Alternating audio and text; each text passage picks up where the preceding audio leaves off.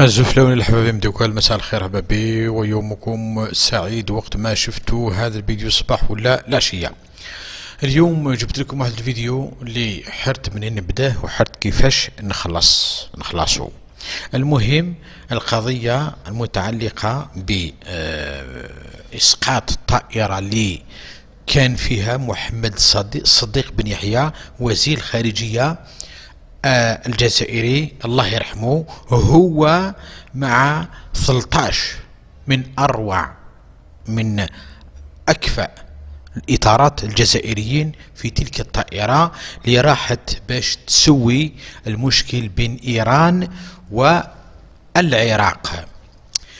آه باختصار شديد ما راحش نذكر لكم كامل حياة نتاع محمد صديق بن يحيى الله يرحمه. حياته موجودة في كل الوسائل التواصل الاجتماعي. نعطيكم برك في بعض النقاط عليه آه، هكذا باختصار.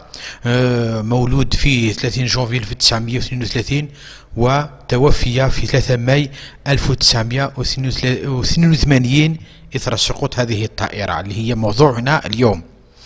آه هذا الرجل هو رجل ثوري. رجل دولة محبوب الجميع بشهادة جميع اللي يعرفوه. هذا الرجل لقبته الصحافة الفرنسية بثعلب الصحراء رجل دبلوماسي الجزائر وهو اللي دار يعني مساره كبير كبير جدا. آه هو اللي دار القوانين الأساسية لوسائل الإعلام في زمن بومدين. هو اللي دار القانون الأساسية القوانين الأساسية لوسائل الإعلام. في آه زمن بومدين هو كذلك اللي شارك اللي كان عضو في آه مشارك في اتفاقية إيفيان. وكذلك آه هو اللي من بين أعمال الناجحة اللي دارها كوزير خارجية توصل لحل أزمة الرعاية الأمريكيين المحتجزين في إيران توسط بين أمريكا وإيران حتى تم إطلاق سراح هؤلاء آه، المحتجزين في إيران. ومن بعد شكروه ليومنا هذا ما زال يذكروا هذا يعني العمل الجزائري الدبلوماسي الجزائرية. آه، باختصار هو كذلك اللي عنده في سنة 1954 عنده شهادة ليسونس في الحقوق. شكون تخرج من من خارج جامعة الجزائر.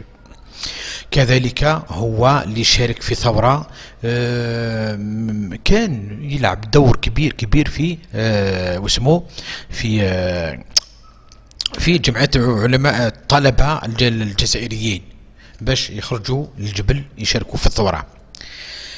المشكل تاع هذه القضية حيرت الجميع وما زالت تحير الجميع وعلاش سكت عليها الدولة الجزائرية وهل الدور يعود لشادلي بجديد اللي سكت وهل صدام حسين هو اللي آه تم إسقاط الطائران نعم هذا ما تداولته جميع الصحف وجميع وسائل التواصل الاجتماعي إلى يومنا هذا رغم انه العراق أنكرت هذا الكلام.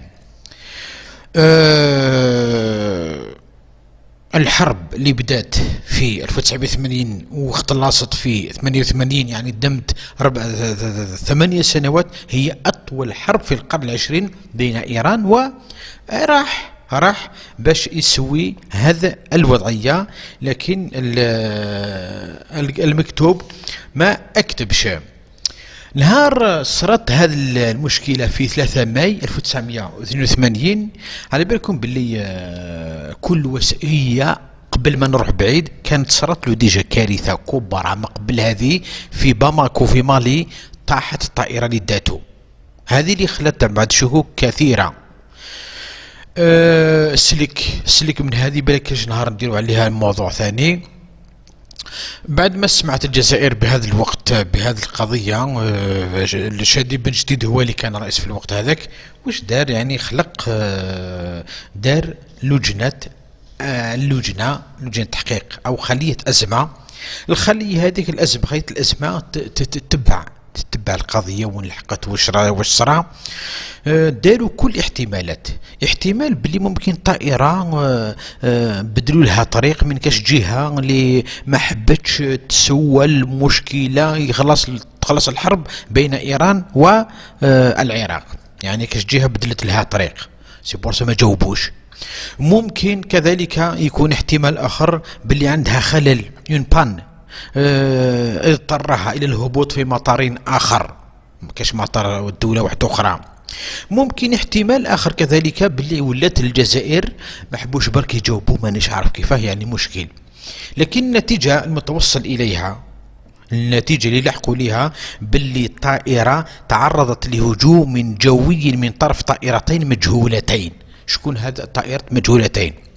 كان يشوف الطائرة الجزائرية بلي طائرة طائرة civile. والعلو تاعها مش علو تاع طائرة يعني عسكرية جاء من الطائرة العراقية إلى الطائرة الجزائرية. يعني شافها وقرص عليها. والمعلومات قالت باللي كاين طائرتين في تلك الأجواء تحومان آه، حول تلك الطائرة. ونزيدكم معلومة واحدة أخرى. معلومة لي مع بزاف اللي ما هدروش عليها هي أنه القذافي كي سمع باللي الجزائر عندها وساطة مع العراق بين العراق وإيران راح بعث آه، وزير الخارجية تاعو اللي هو عبد السلام جلود بعثوا إلى طهران باش يخبرهم باللي راهي جاي الجزائر أه تسوي لكم المشكل. النية الله أعلم. من بعد ما صرا هذا المشكل تخلقت واحد اللجنة. نعم اللجنة من بعد أرسلت آه، أرسلت لجنة برئاسة صالح كوجي لمكان الحادث. آه، مكان الحادث نعم باش تجيب الأخبار وين صارت بين الحدود التركية وإيران يعني داخل إيران. في آه، نعم آه، تم جمع حطام تم جمع حطام الطائرة والصاروخ اللي أسقطها تأكد باللي أن الصاروخ روسي الصنع. ذهبت اللجنة إلى الاتحاد السوفيتي باش باش تعرف المنبع هذا الصاروخ.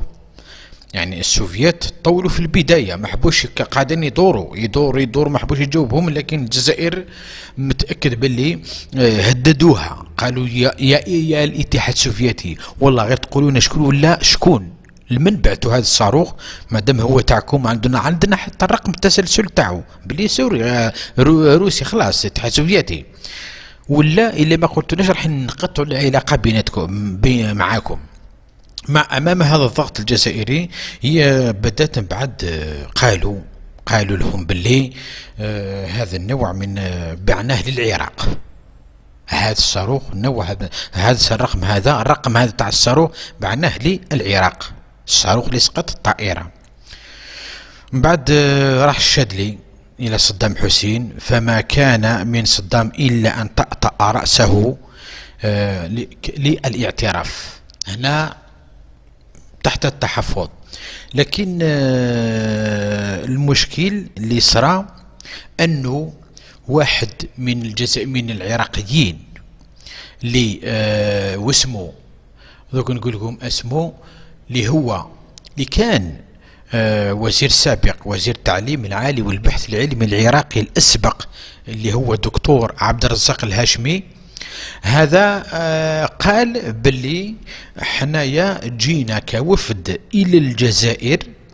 نعم جينا كوفد إلى الجزائر آه، باش نشوفوا الوضعية تاع الطائرة هذه اللي تهمونا بها كذا وكذا.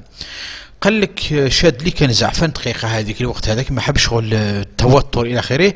قال له بلي حنايا آه، جينا باش قال له شكون مباشرة تروح تجي روح من الآخر. شاد لي قال روح من الآخر. شكون؟ قال لي خليني نوضح لك يا سيد الرئيس هذا راك تشوفوا فيه وزير العالي هذا. قال اسمح لي يا سيد الرئيس باللي أنايا واحد من الطلبة. تبعوا معي ركزوا مليح على القومية العربية هذه. أنا واحد من الطلبة كي كانت الجزائر في ثورة نحن قوميين عربيين درنا آه، جمعية قومية عربية من أجل عروبة الجزائر. كان عندي الشرف أيضا أن أكون مساهم بالثورة الجزائرية قبل الاستقلال. هو رأسا كيف؟ قال لي كيف؟ قلت سيادة الرئيس كان كنا طلاب جامعيين وبعض من المثقفين العراقيين العروبيين والقوميين. شكلنا جمعية سميناها جمعية الدفاع عن عروبة الجزائر. ومن خلال نشاطات طلابية ونشاطات اجتماعية كنا نجمع تبرعات للثورة الجزائرية.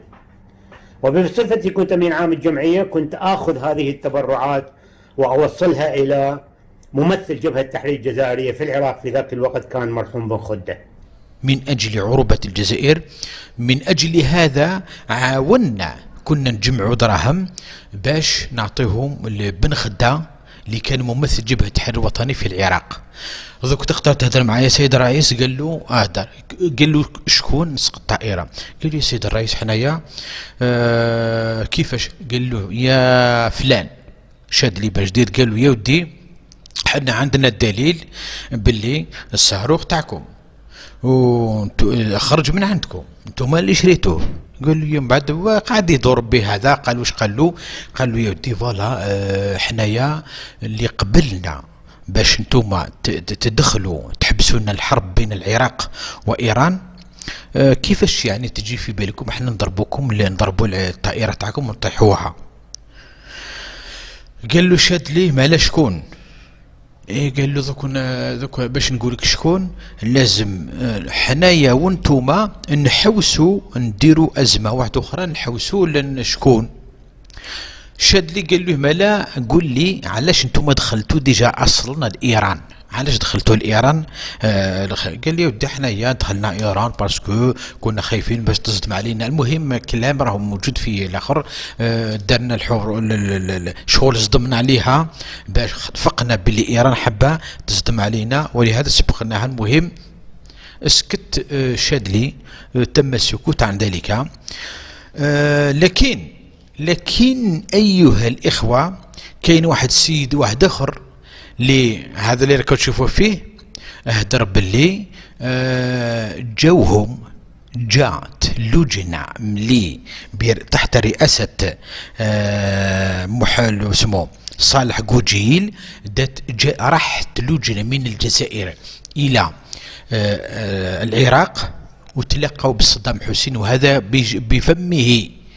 ويقول باللي كنت أنايا ورئيس اللجنة الجزائرية وصدام حسين في ثلاثة. فأنا استدعيت أيضا إلى الحضور في القصر الجمهوري فكان الرئيس صدام والموفد الجزائري وأنا فقط ثلاثة في في, في هذا اللقاء. اللقاء ما استمر كثيرا. كان وزير النقل الجزائري يحمل آه، مجلد ملف. نعم. ملف مجلد حقيقة كبير. اي ملف ضخم. طبعا قدم مقدمة للكلام. مضمون المهمة ما نعم. هي؟ فقال له سيادة الرئيس أنا مرسل من الرئيس شاذلي بن جديد ومن القيادة الجزائرية. إحنا أجرينا تحقيق موسع وشامل في موضوع آه، إسقاط طائرة وزيرنا وكذلك الإيرانيين. وتوسعنا بالم... الإيرانيين ذكروا لنا أنه هذا الصاروخ ليس إيرانيا. فأخذنا الصاروخ لأن عليه رقم ما تبقى في رقم على نعم. الصاروخ. نعم. رحنا للاتحاد السوفيتي مصنع في روسيا. فالسوفيت أكدوا أن هذا نعم هذا الرقم بصفقة صواريخ عقدها العراق بالتاريخ الفلاني بكذا بكل التفصيلات. يعني العراق فيقول هو الوزير عراقي. الوزير هذا اللي سمعته من عنده.